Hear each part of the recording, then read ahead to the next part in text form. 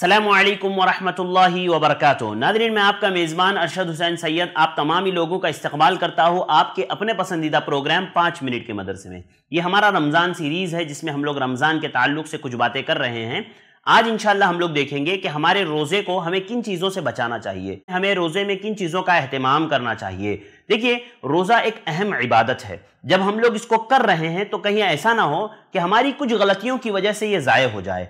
इसका अजर हमें नहीं मिले, इसका फ़ायदा हमें नहीं मिले। इसलिए कि अल्लाह के नबी सल्लल्लाहु अलैहि वसल्लम ने फरमाया, रुब्ब साइमिन लैसा लहु मिन सियामिही इल्ला जू व रुब्ब काइमिन लैसा लहु मिन क़ियामिही इल्ला सहर आपने फरमाया कि बहुत से रोजेदार ऐसे हैं जिनको उनके रोज़े के बदले में सिवाय भूख के कुछ नहीं हासिल होता। यानी सिर्फ़ वो भूखे रहे हैं, उनको कोई अजर सवाब नहीं मिला रोज़े का।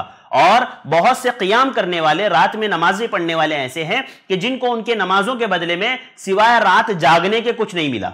यानी कोई नेकियाँ उन लोगों ने नहीं कमाई। तो मैं ये बताना चाहता हूँ कि कहीं ऐसा ना हो कि हमारे किसी एक अमल से ऐसा हो जाए कि हमारा रोजा रखना बातिल हो जाए। हमारा रोजा रखना बिला वजह हो जाए। सिर्फ़ भूखा रहना हमारा हो जाए। लिहाजा ऐसे रोज़े का कोई फ़ायदा नहीं होगा। तो मुझे और आपको चाहिए कि हम रोज़े में अपने आप को चंद चीज़ों से बसाए रखें। सबसे पहली चीज़ अलकिद्म। कलामुजूर झूठ बोलना, गलत बात बोलना, जो हराम है या जो बुरी बातें हैं, ऐसी बातें करना, इससे अल्लाह के नबी सल्लल्लाहु अलैहि वसल्लम ने मना फरमाया। आपने फरमाया मल्लम यदा कौल ज़ूर वलामिल बी फ़लई तामहु व शराबा। आप सल्लल्लाहु अलैहि वसल्लम ने फरमाया कि जो आदमी झूठ बोलना ना छोड़े तो ऐसे आदमी का अल्लाह रब्बुल को भूखा और प्यासा रख करके कोई फ़ायदा नहीं। आपने रोजा रखा है, आप कहीं पर काम कर रहे हैं, आप पूरा दिन झूठ बोल रहे हैं, क्या फ़ायदा आपका रोजा रख के भाई?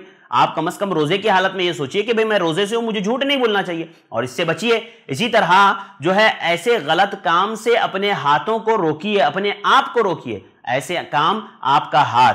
आपका पैर, आपके मुँह को, आपके खाने को, आपके पीने को, आपके चलने को, आपके उठने को और जो है आपके अपने कपड़ों से आप अपने आप को ऐसी चीज़ों से महफूज रखें जो आपके रोज़े को बातिल करती है, जो आपके रोज़े को ख़राब करती है। ऐसी चीज़ों से आप दूर रहें। अशिया मुहरमा से आप दूर रहें। हाँ इसी तरह से हकूक़ुल इबाद में जो है ख़ियानत मत कीजिए हकूक़ुल्लाह में आप ख़ियानत मत कीजिए। इन सारी चीज़ों का आप ख्याल रखिए। यकीनन मेरा और आपका ये रोज़ा जो है फ़ायदेमंद होगा। इसलिए कि वो हदीस जिसमें अल्लाह के नबी, जो अभी मैंने आपके सामने पढ़ी मल्लम यदाक़ूर वलामलबी फ़लई हाजतन शराबा। आपने फरमाया कि जो झूठ बोलना और जो है, उस पर अमल करना। अल्लाह के नबी से फरमाया कि जो झूठ बोलना और बुरे अमाल करना न छोड़े तो ऐसे आदमी का कोई फ़ायदा नहीं रोजा रख करके। हाँ ना तो उसका रोजा रखने का कोई फ़ायदा होगा, ना ही उसके खाने को छोड़ने का, ना ही उसके पानी को छोड़ने का। लिहाजा अगर हम रोजा रख करके भी बुरे अमाल अंजाम दे रहे किसी को तकलीफ़ दे रहे हैं, किसी की गीबत कर रहे हैं बैठ करके, किसी की चुगलियाँ कर रहे हैं बैठ करके रमज़ान के महीने में, मैं और आप या बातें कर रहे हैं हम लोग इधर उधर की, या ऐसी चीज़ें कर रहे हैं जो हमें नहीं करना चाहिए रमज़ान के महीने में तो याद रखिए, ये हमारे रोज़े को बातिल करने का एक ज़रिया बन सकता है। इसी तरह, रोज़े में आदमी को चाहिए कि वो लघु बातों से, बेकार बातों से, फहश बातों से अपने आप को महफूज रखे, अपनी जबान को महफूज रखे, अपनी आँखों को ऐसी चीज़ें देखने से महफूज रखे। बिल्कुल बचना चाहिए रोज़े। ऐसे तो उमूमी तौर पर बचना चाहिए। खास करके रमज़ान मुबारक के महीने में। रोज़े की हालत में इससे बचना है। तो जब हम रोजा रखते हैं ना तो सिर्फ़ हमारे पेट का रोजा नहीं होता, हमारे मुँह का रोजा नहीं होता, बाकी हमारे सारी चीज़ों का रोजा होता है, हमारी जबान का रोजा होता है, हमारे हाथों का रोजा होता है, हमारे पैरों का रोजा होता है कि हम जबान से कोई गलत बात ना निकाले, अपने हाथों से कोई गलत काम ना करें, अपने पैरों से कोई गलत काम ना करें।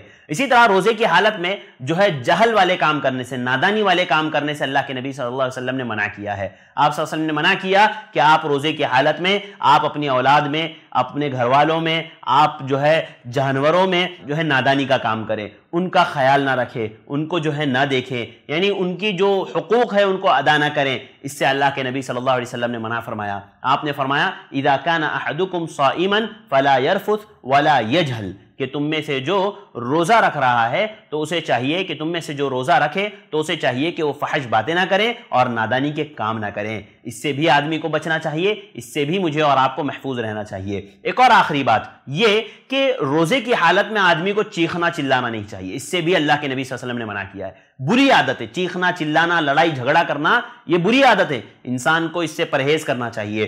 कम बोले हल्का बोले, आहिस्ता से बोले, चीखना, चिल्लाना, ये सब गलत चीज़ें ये सब बुरी आदतें हैं। खुद अल्लाह के नबी सल्लल्लाहु अलैहि वसल्लम ने इससे मना फरमाया, आपने फरमाया व इदा काना यौम सौमी अहादिकुम फला यरफुस वला यसखब सही बुखारी की हदीस है। आपने फरमाया कि अगर कोई रोज़े से हो तो उसे चाहिए कि ना तो वो फहश गोई करे, बुरी बातें ना करे, गंदी बातें ना करें और शोर ना मचाए। शोर गुल ना करें ऐसा शख्स। रोजेदार को चाहिए कि वो शोर गुल ना करें, चीखें ना चिल्लाएँ ना, ज़ोर ज़ोर से बातें ना करें। हत्ता कि अल्लाह के नबी वसल्लम ने फरमाया कि अगर कोई मारने आए, कोई जो है झगड़ा करने आए तो आप उससे कोई आपको बुरा भला कहे, कोई आपको गाली दें तो आप सिर्फ़ इतना कहे, इन्नी साइमुन। भाई, मैं रोज़े से हूँ, मैं आपसे नहीं लड़ सकता, मैं आपसे झगड़ा नहीं कर सकता, मैं आपके ऐसा चिल्ला नहीं सकता। लिहाजा मैं सिर्फ़ यही कहूँगा, इन्नी साइमुन, मैं रोज़े से हूँ। तो नाजरीन, याद रखिए, जब हम भूखे रह रहे हैं, जब हम अपनी प्यास को छोड़ रहे हैं, हम खाने को छोड़ रहे हैं, सिर्फ़ अल्लाह रब्बुल आलमीन की रजा के लिए तो कोई भी ऐसा काम ना करें जिससे हमारा रोजा बातिल हो जाए, जिससे हमारी ये इबादत जाय हो जाए, इसका अजर सवाब हमें नहीं मिल पाए। अल्लाह ताला से दुआ करते हैं। अल्लाह ताला इन तमाम चीज़ों से, तमाम बुरी आदतों से, तमाम बुरी खसलतों से अल्लाह ताला मुझे और आपको महफूज रखे। खसूस रमज़ान मुबारक में हमारे रोज़ों को सही, सालिम हमें रखने की तोफ़ी अदा फरमा। और अल्लाह रब्बुल जो भी अमाल हम लोग अंजाम दे रहे हैं, उन अमाल को तो हमसे कबूल फरमा। आमीन। वाखिर दावान अलहमदिल्ला रबालमीन असलकम वरहमल वर्का ऐसे ही और वीडियोस बनाने में हमारी मदद करें।